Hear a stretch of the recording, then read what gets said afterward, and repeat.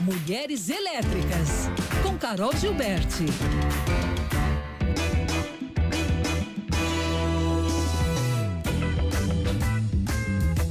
Oi, gente, bom dia. Voltando aqui essa semana com a Cláudia Brito, que está trazendo aqui pra gente um conteúdo riquíssimo sobre essa jornada empreendedora, principalmente quando se é mulher, é, para a gente realmente entender a jornada na real, vamos dizer assim, e não romantizá-la.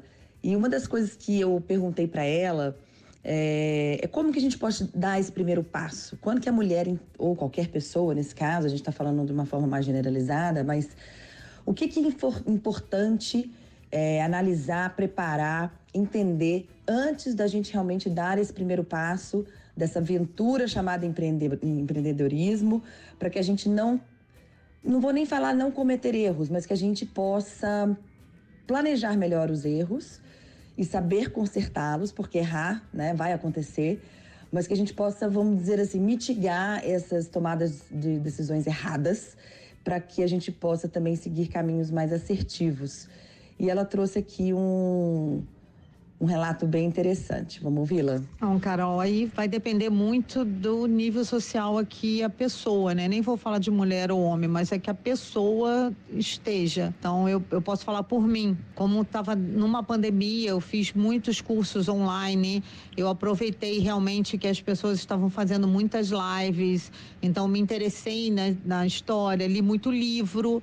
É, mas eu sei que muitas pessoas não têm esse mesmo tipo de acesso, né, a uma internet ou a uma compra de um livro ou assistir um podcast, ler. Então, assim, eu posso falar da minha experiência, né, mas eu sei que existem cursos gratuitos de empreendedorismo, o Senac, o SESI, eles fazem muitos cursos voltados para isso. Inclusive, aconselhei a minha filha, né? Faça cursos, saiba exatamente em que você vai empreender, goste daquilo que você vai fazer crie um laço, uma, uma coisa de que eu quero isso realmente. Além do interesse com conhecimento, mapeie, faça um business plan, faça tudo o que realmente você pode fazer antes de traçar realmente o seu objetivo em empreender. Então, é, é um pré que você precisa fazer. Tá? Eu não fiz o pré, mas eu já estava no contexto. Eu já estava na empresa há seis anos quando a gente teve a oportunidade da compra. Então eu já conhecia do negócio.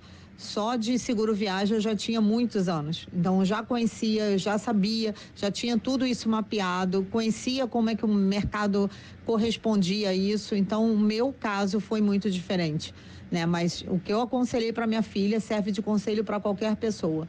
Não faça nada antes de mapear. Tanto se for uma loja física, se você vai abrir num lugar que realmente vai te responder, vai responder às expectativas daquele negócio, faça um, um plano de, de ação detalhado de que você não vai ter o dinheiro, o primeiro lucro da empresa não vai ser para botar no teu bolso, que você consiga separar exatamente o que é da empresa para voltar a investir do que é realmente um, um prolabore para você.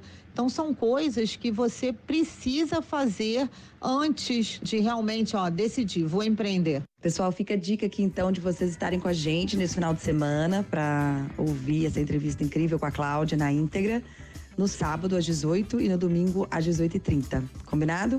E eu volto aqui na semana que vem. Um beijo grande, um excelente final de semana para todos.